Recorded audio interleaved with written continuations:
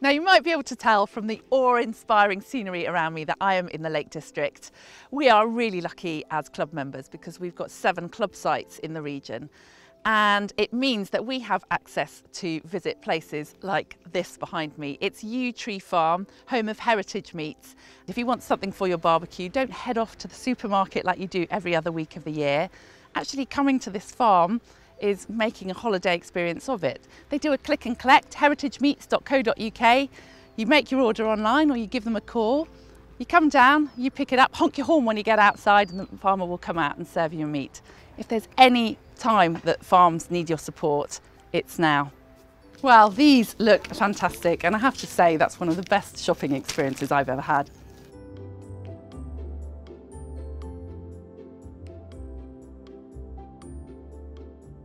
I've got my lovely Yew Tree Farm lamb here and I'm going to make a very simple meat and potatoes dish, which I think kind of suits the hardy environment around here.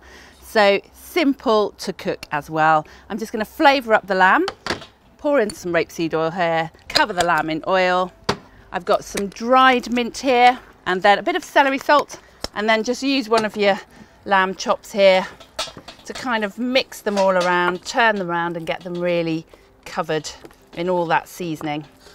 So to serve with the lamb, I'm going to do some potatoes that I've boiled and then I'm going to grill alongside the lamb. And I've also done some carrots and some beans.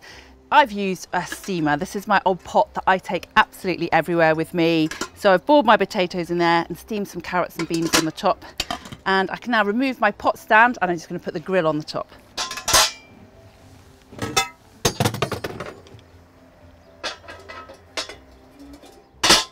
Now this lovely piece of kit is an eBraai. It's made by Cadac, so very similar to all of their gas barbecues, but of course it's electric. So I'm using the eBraai today because I've got access to electricity because I'm outside one of our glorious new luxury lodges. They're in the Braithwaite Village site.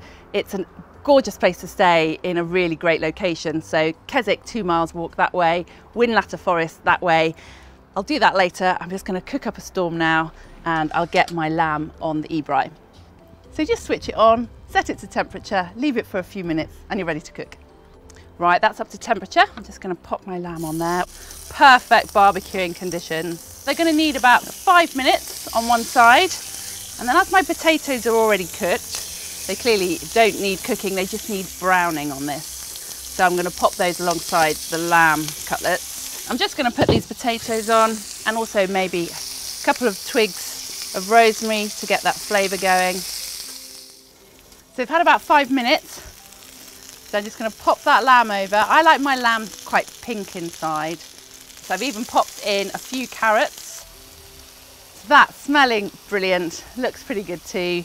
I've just chopped some herbs. I've got some parsley and some mint and a little bit of rosemary. And then I'm just going to plate it up. I've got some rocket and some lamb's lettuce.